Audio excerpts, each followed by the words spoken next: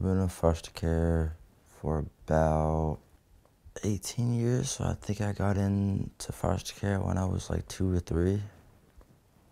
Um, so pretty much a baby. Didn't really know what was going on. I'm 20 and I'll be turning 21 next month.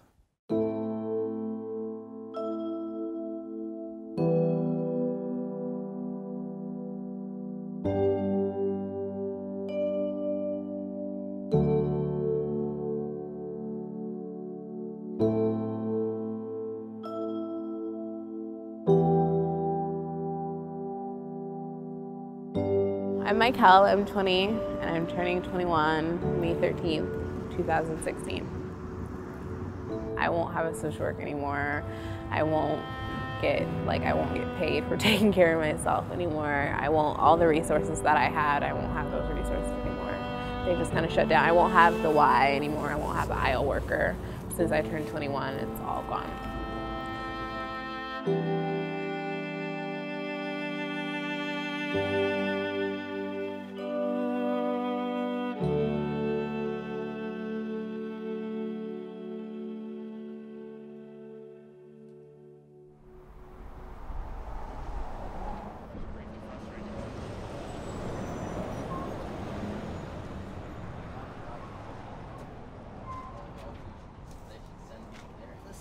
So if they've got the papers on, does that mean they're already spoken for? Yes. Okay. Here's what you want to do.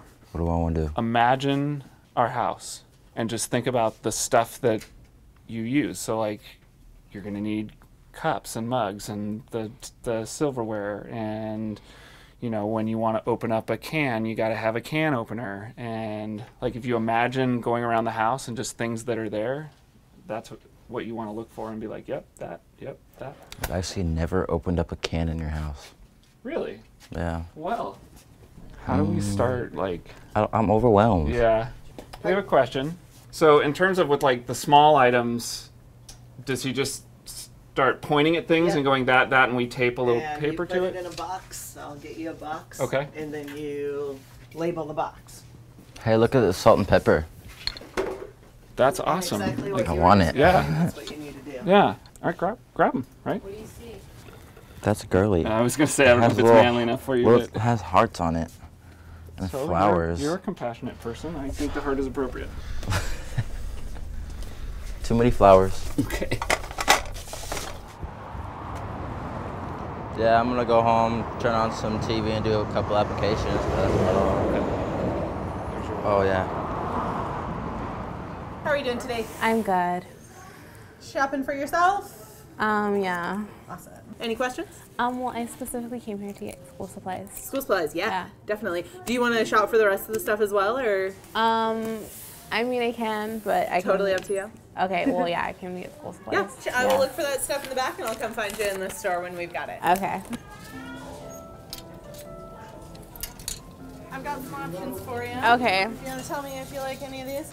We've got a few different backpacks, Okay. bright colors. Oh, I like this one. bright I will take Like this that one, yeah. Just tell holler if there's anything else we can help you out with, okay? Okay, thanks.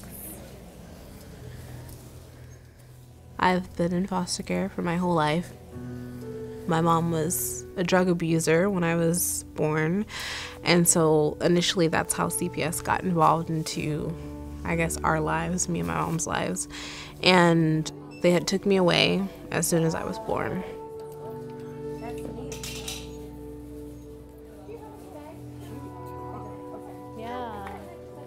Thinking for like working out, you know. Every time I look at Mykell, I see Gladys because uh, Mykell is a spitting image of, I mean, feature wise, as her mom.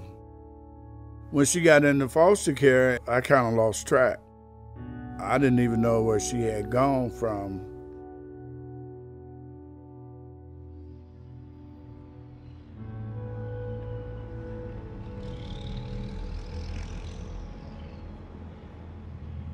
Today I had my first day of class, and I think I was so overwhelmed with being in a classroom setting. It was like scary. and there's so many kids, and um, and I didn't think this was gonna happen. And I just sat there like having lots of anxiety. It's really starting to all dawn on me because I've been doing these two other things. Like I've been doing my job and I've been doing apartment searching. And it's been, I mean, it's been pretty chill. It hasn't really been like overwhelming, I guess. But as we throw this other part into it, like school every day at eight, and then I'm gonna be tired, like trying to go to work, it's like I think it's actually dawning on me. And then now I kind of feel like, dang, why do I have to do all this? Because like I have friends and they're not doing anything.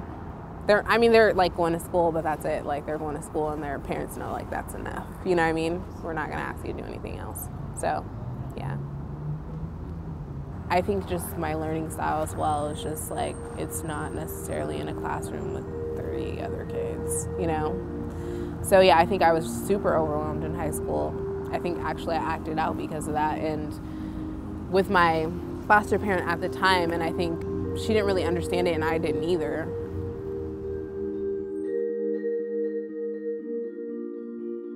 I thought you would. I thought you'd be all excited for a flat screen. What, did you see a flat screen? I'm excited for a TV. All right. Come on now. We're going to Sharehouse today for our second appointment. Hopefully we get couches and everything I need because the first time we didn't really get all the stuff that we needed to. Keep in mind, where are we gonna put this in our tiny little house? Oh yeah. For the time being. Joe, he's really helpful and you know he's there when you need him. It's just another person on your side.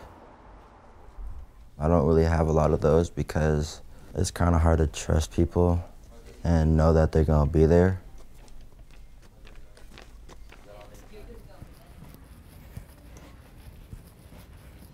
So turning 21 is right now I'm not feeling anxious or funny about it or nervous or anything like that. Although other people are nervous for me, so I, that kind of makes me like maybe I should be nervous. Some of my biggest battles I've already faced in life, so um, kind of like I'm ready for whatever life throws my way. I'm considering looking for another job just because I'm like juggling three different cities. Like I live in one city, I work in another city, I go to school in another city. So that's a barrier to me at this point. Apartment search, I've been searching for apartments and I haven't had any luck. Can I help you? Hi, I just wanted to know if you guys had any one bedroom apartments available. You do, okay. And do you guys accept Section 8 housing or Seattle vouchers? Uh, yeah, they're Seattle, not King County, correct? Right, yeah. Yes. mhm. Okay. Look at your rental history, your background check, and um, your credit. Okay, so I'm 20, so I don't really have that much rental history. Um, I'm a full time student and I work. So, Okay. So the snag is going to be that you're a full-time student. Because we are a tax credit property, you would disqualify from living here because of I'm you're a full-time student. The thing with us is because tax credit, you would get you get tax breaks for being a student, along with you would be eligible with um, for financial aid. The government just looks upon it as double dipping, so that's why ours is that way. It could be different for someone else, but that's the reason why we cannot rent to full-time students. okay. Yeah, so it's just a little bit different for us. Okay. So then it would be pointless to do an application. Yeah, unfortunately. All right, thank you. Uh huh. Bye. Bye. Basically, they were saying I'm not needy. It's just kind of like with the food stamps thing. Like, if you're a full time student, you can't get food stamps anymore. So it's like the people that are aspiring to be something or that are actually trying to get themselves together, they're not trying to help those people. But if I was just sitting doing nothing, I could get food stamps. I could get into this apartment. I could, you know what I mean? It's not the fact, I don't even think they would stress if I had the voucher if I didn't have a job. It would be fine. But it's the fact that I'm going to school. I don't know why the school thing causes an issue.